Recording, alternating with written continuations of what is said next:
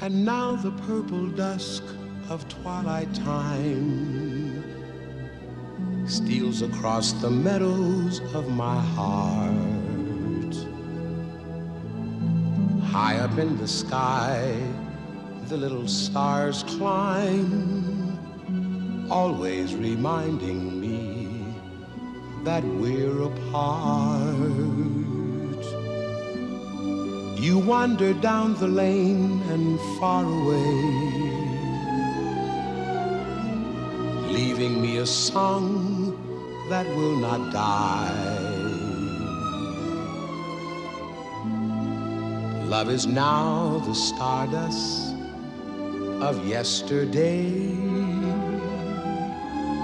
the music of the years gone by.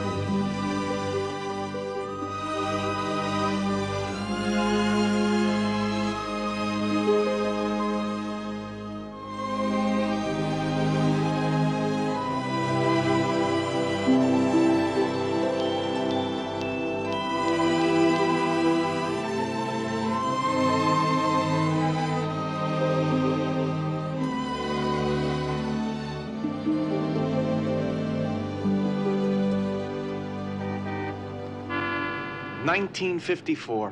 You don't get years like that anymore. It was my favorite year.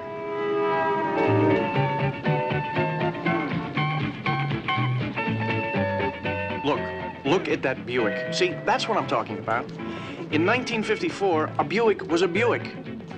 It didn't look like a Chevy, which looks like a Pontiac, which you can't tell apart from an Olds, like today. This is the way people dressed in 1954. Smooth, huh?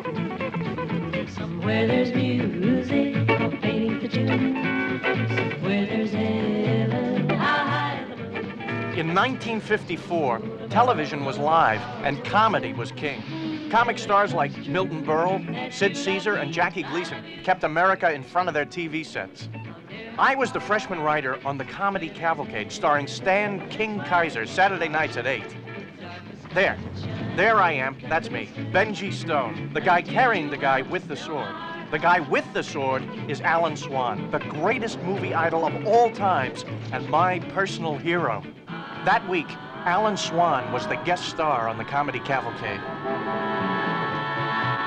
This is where we wrote the show, 30 Rockefeller Plaza. 30 Rock, we called it. Here I was, two years after being asked to leave Brooklyn College, and already I was earning more money per week than the entire fourth floor of my mother's apartment house on Ocean Parkway in Brooklyn. Anyway, 1954, the week Alan Swann was the guest star on the Comedy Cavalcade was a major turning point for me. It changed me.